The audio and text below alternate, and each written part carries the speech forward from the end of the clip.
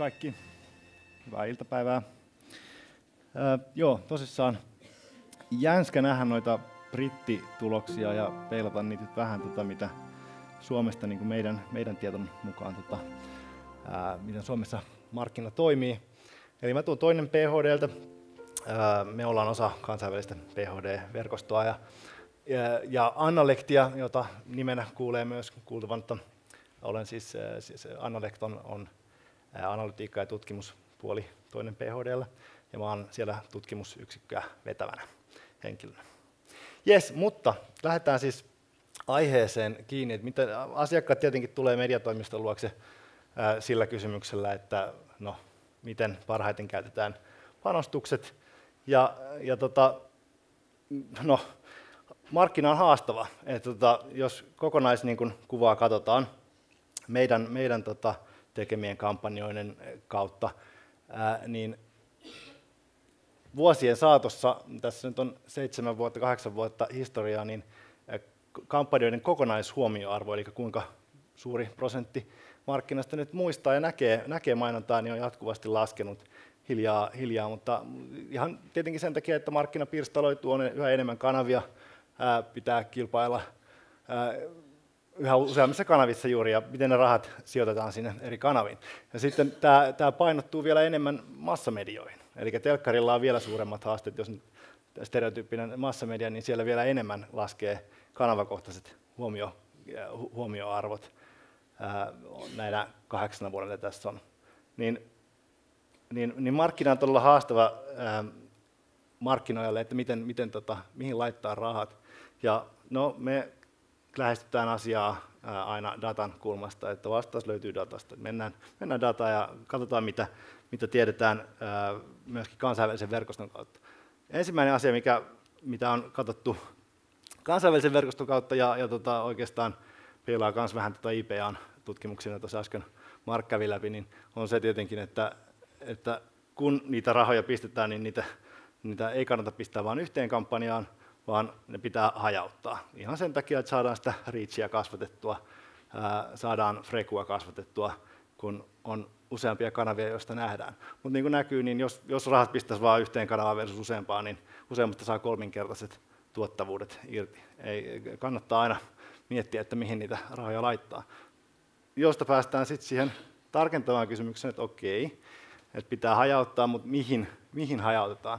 Niin toki tämä on niin kuin mediatoimiston perushuttua, mutta miten me tätä lähestytään on se, että meillä on, me tota, tehdään ää, useista kampanjoista, sikäli kun asiakkaat saadaan mukaan, niin tehdään kampanjatutkimukset, tehokkuustutkimukset ja halutaan selvittää, että miten hyvin kampanja on mennyt perille.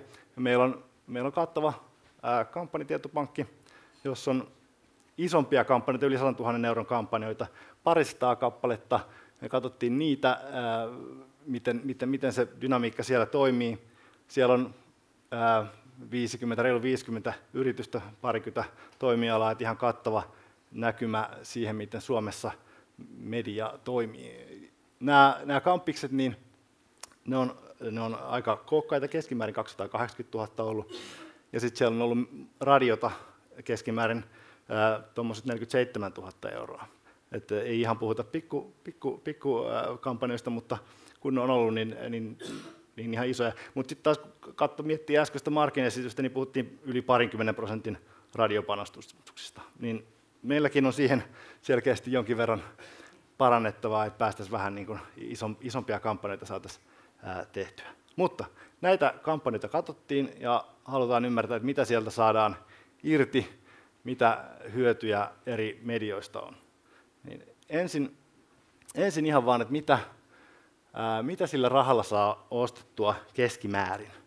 Niin keskimäärin sieltä, sieltä saa 55 prosenttia huomioarvoa, eli 55 prosenttia väestöstä muistaa nähneensä, ää, nähneensä kampanja, joka on tuon yli 100 000 euroa ää, maksanut. Ja siellä sitten telkkari ekana massamediana, yksittäisenä mediana, joka muistuu, ää, muistuu parhaiten, 44 prosenttia. Mutta sitten oikeastaan yllättäen ehkä, ehkä tota ihan samassa järjestyksessä kuin Briteissäkin, niin radio kakkosena, että radio huomataan sitten heti sen jälkeen parhaiten.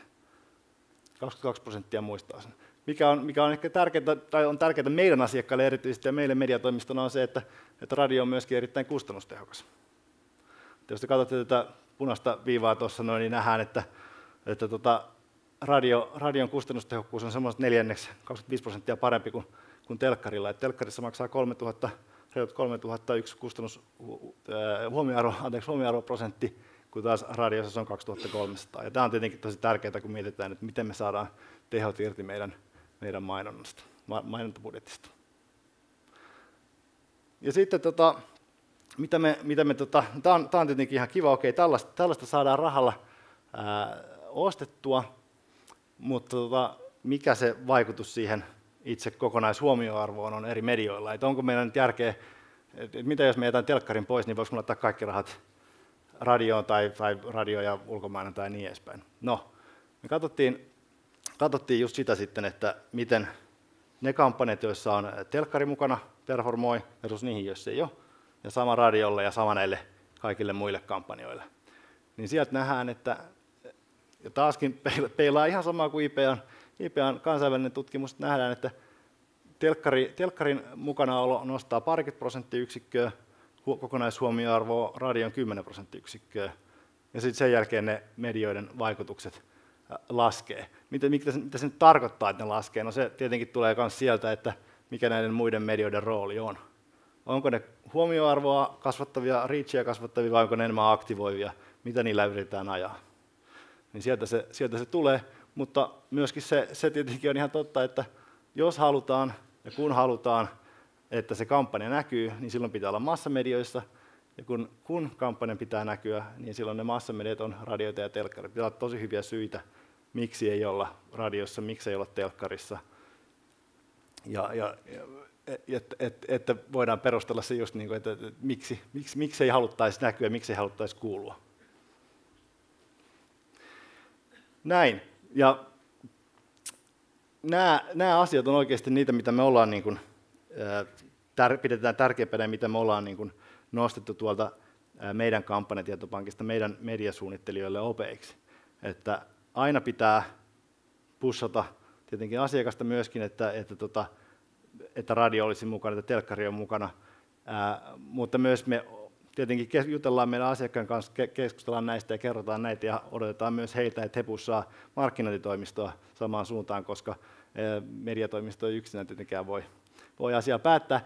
Ja ihan sama juttu, että no, Markin puheessa oli, että jatkuvuus on tosi tärkeää, totta kai näin, ja, ja samoin se luovan laatu. Se luovan pitää sopia siihen brändiin.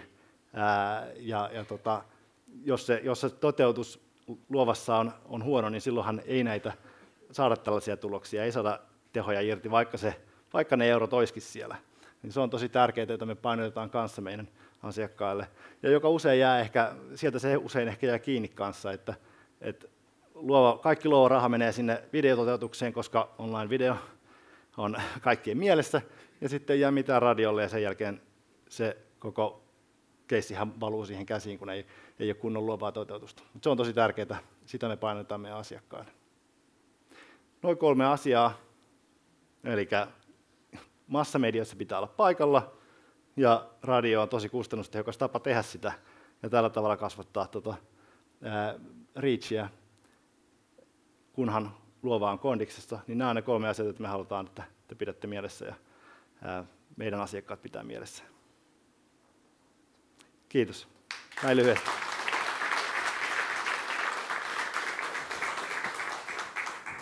No niin, massamedia. Joo. Edelleen nousi esiin. Mikä sun henkilökohtainen mielipide on, jos, jos otetaan, Ville, joku iso tuotelanseeraus? Onko sitä edes mahdollista tehdä ilman, että siinä on radio tai telkkari mukana? Nuo luvut oli aika, niin, aika, no siis, aika murhaavia muiden medioiden ei, kannalta. Ei, lukujen perusteella tietenkään, ja, ja siihen luotetaan, että, että kyllähän sun pitää saada porukka kiinni ja kertoa siitä sun uutistuotteesta, muuten se on vähän niin sanottu soft launch siinä vaiheessa, että silloin ei kauheasti puhuta siitä, että se on eri, eri keissi sitten, mutta kunnolla lanseeraus on, näkyy ja kuuluu.